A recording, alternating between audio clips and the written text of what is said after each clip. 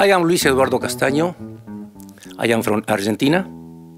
I live in Budapest many years, but I'm sorry because nem besele mañana. Oh, the love, love is very big word.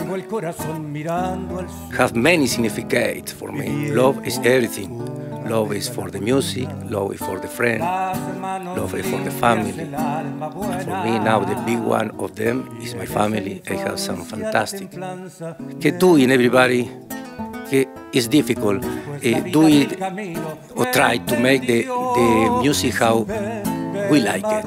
Because many times we must come in and must play many music popular that maybe is not how we like it. Everybody enjoying and don't thinking about who is in front. Enjoying you, your instrument and your soul. This is the message. I say also for my, my daughter and my